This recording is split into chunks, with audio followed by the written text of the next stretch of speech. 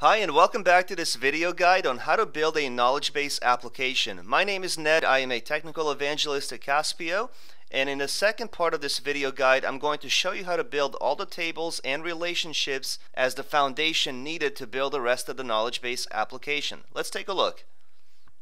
To begin building your application in Caspio, sign up for a 14-day trial or if you have a paying account already, you're going to log in and you're always going to be taken to the home page where you see the list of all of the applications that you have built as long as you have had your Caspio account. Now to begin building an application in Caspio, it's very easy. All you have to do is click on this link and then you have two options on how you can begin. You can either import data from an external source. So if you have some data offline in Excel or Access database, you can bring that data in to begin building your application or you can begin building your application from scratch. We're going to do that. The next step is to give your application a name. Now you'll have your own naming convention depending on the app that you're developing. So if you're building a CRM, you might call it CRM. If you have a need for a project management, you might call it project management. The application that we're going to build in this video guide is a knowledge base application. So I'm just going to abbreviate that as KB app, which will stand for knowledge base application. When done, click on finish and you should be able to see this application container listed on your home screen. The next thing that you want to do is open up the container and you're going to find these objects on the left hand side. These are the objects that you will have to build in order to complete the application. The very first object that's highlighted by default is the Overview tab. This screen is mostly informational for you to keep track of your progress and also to be able to see some metrics. The most important place where you want to begin building your Caspio applications is always going to be the tables object. Tables are the foundation of any app that you develop. That's where all of your data is going to reside. So it's very important and critical that you have the right foundation in place because it makes it a lot easier to add additional components at a later time if you wish to scale up or expand on the existing application. Now this app that we're building is not going to be very table heavy it's actually only going to have four tables. One table that's going to store all the user information.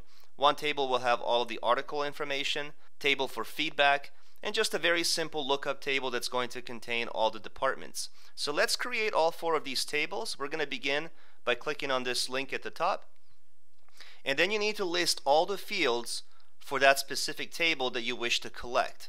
I'm going to begin with the user table. And as I always teach people when building applications, Always remember to add your primary key first. It doesn't have to be the very first field in your table, but it's much easier to locate when you open up the table at a later time. So I'm going to say user ID, and I'm going to select random ID from this dropdown. Now Caspio does give you other options here. You can also choose to have auto number, prefixed auto number, and GUID. You have a couple of different data types that you can use for your unique ID. And this unique ID is very important in every single table. You should always have a unique ID in every table that you create inside Caspio because again, like I mentioned earlier, it's a lot easier to scale up and add additional components because you're trying to link this data to different tables in order to retain integrity and to create one-to-many and many-to-many relationships. So I'm going to choose random ID. Then I'm going to have in my table first name, last name, and notice that I'm using text 255 as the data type because in that field I'm actually collecting text and I don't believe that the first name or the last name is ever going to exceed 255 characters. If that's the case for you, then you may want to opt out to select 64,000 because this type of data type will accept up to 64,000 characters. The next field that I want to add is full name which is going to be a concatenation between the first and last name. We're going to combine these two values together into a full name because sometimes in an application you might want to address somebody by their first name or you might have a need to use both the first name and last name as a full name. Now for this data type, I'm going to choose formula. Over here to the right, you'll see a little edit link that you can click on. Now, how do we actually combine or merge the first name with the last name? We're going to use this insert button to select first name. And a little bit of syntax is needed here. What you want to do is add a plus sign, single quote, some space, and single quote, and another plus sign, and then simply just insert last name. What this is going to do is create spacing between your first and last name. You can verify the formula. It looks valid. Click on apply. And there's my full name field. Next will be email. I'm going to flag that as a unique field. The reason why is because you're never going to have two different employees with the same email. Every single time an employee is added to this table, they're going to have their own unique email address. That's why we want to flag that as unique. Password field should be self-explanatory. Let's change the data type to password so it's encrypted. Because inside the user table, you need to have their credentials because we're going to use those credentials to log into the application. Underneath password, we're going to use a field called role and I'm going to use the text255 data type. This field is going to be used to identify in the user table who's going to have admin rights versus who's going to have user rights. And you're going to see how all of that functions as we begin to build the application. Let's have account status. I'm going to turn that into a checkbox. This field will be used, um, think of a checkbox on the front end uh, when you're looking at somebody's account, if you wish to disable it, you can uncheck the box. If you wish to enable it, you can check the box again. And last but not least, let's have date added. And for this data type, we're going to use a timestamp because every time I add an employee to this table, I want to automatically stamp the date and time upon insert. Once you're done with this table, click on Save and give it a name. Let's call it KB Users. Hit finish. And there's my very first table. If you open it, you will see that it's an empty table. We just built it from scratch, so there should be no data inside this table. If you wish to modify the field names, you can always go back to table design, and here you can rename a field to something else, you can delete a field, or you can introduce a new field to your table. Let's move on with our second table. And the second table, let's create the table that's going to store all the article information. Again, remember to add your primary key first. Let's call it article ID, and I'll just use random ID once again. The field underneath that I'm going to add is called user ID. Now we just added a user ID in the user table, which is that unique key that's going to assign an ID to each one of our employees. I'm also adding the user ID field in this table because what we want to accomplish is to store the primary key from the user table inside the article table. This is going to create a common value between two tables and we're going to know who was the user to have added that article to this table. So it's for tracking purposes and knowing who is the user that's adding articles to the database. Imagine if I had John with ID number 1 and John inputs an article, I'm going to stamp his ID number one in this table. This way I have a relationship and I know it was John who was the one who added that article. Department, title, article itself. So for this one, let's flag this as text 64000 because the description of the article can be longer and it's definitely going to exceed 255 characters attachment. When we deal with attachments in Caspio, it's not going to be text data. It's actually going to be a file type so that you can attach either a PDF document, maybe a Word file or Excel document, or any other type of file that you wish to input into your knowledge base. Count. I'm going to change the data type to a number. This field is going to be used to add an additional increment of 1 every time we look at an article. Okay, this is a built-in feature in Caspio. So if I look at the details of an article, it automatically increases by a count of one. Internal notes. This definitely needs to be text 64000 because when we input notes, typically they will exceed text 255. Date submitted. It's going to be a timestamp. Date updated. Also going to be a timestamp However, for this one, I want to stamp on update, not on insert.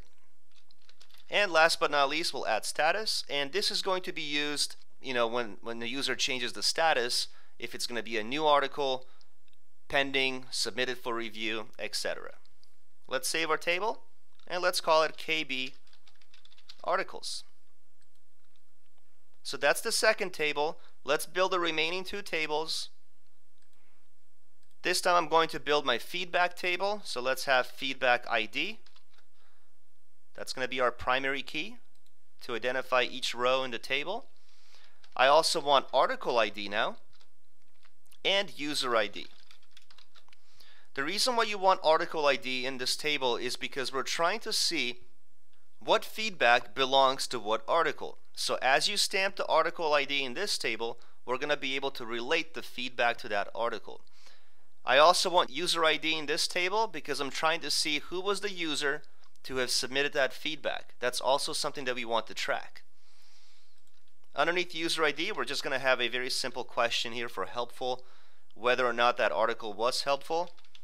Comments will be text 64,000 and date submitted will be a timestamp. When done, click on Save, and let's call this KB Feedback. And last table that we're going to build is a very simple lookup table that's going to contain all the departments. So remember to add your primary key once again, department ID, and I'm also going to use random ID for that, and department itself. So this is a very small table. Let's save it and let's call it KB departments. Because this is going to be my lookup table, I'm very quickly going to open it and just add some information to it. So my departments in my dropdown, eventually when I create the form, can be sales, marketing, support, administration, and last but not least, let's have professional services.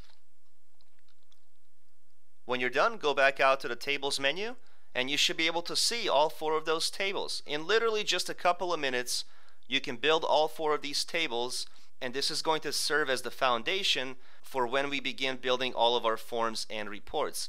But you must build the tables first because that's where all of your data is going to reside.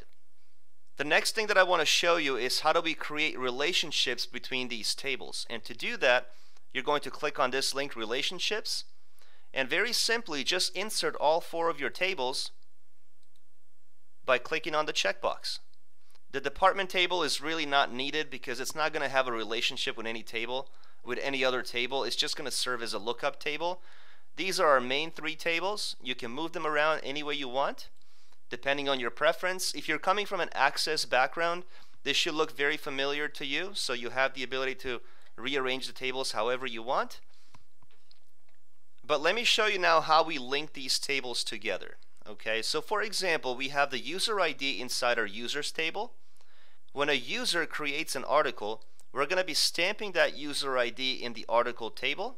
When you let go, you're going to see this pop up. Now you have some functionality here as well that you can enable on your application, including referential integrity that enforces the integrity between your two tables. You can also look at information from the parent table. So if you want to grab the full name from the parent table and display it on your report or data page, you can enable this checkbox. Caspio is immediately going to identify this relationship type as a one-to-many because a single user can be linked to multiple articles. When you click on Create, you're going to see this line between your tables. This means that one user can be linked to many articles. So as users submit articles to this table, you're going to see their ID repeating multiple times. Let's continue. When you stamp the article ID inside the feedback table, drag over the line. For this one, we don't really need to display any additional information, so let's leave this the way it is. You'll see it's a one-to-many relationship. Click on Create. And now you can see that a single article can be linked to multiple feedback. And the last relationship type here is that we know that each user is also submitting feedback. So we want to stamp the user's ID inside the feedback table. And here it actually makes sense to display the full name. If I want to build a report of all the feedback, I want to be able to display the full name of the user in that report instead of the ID.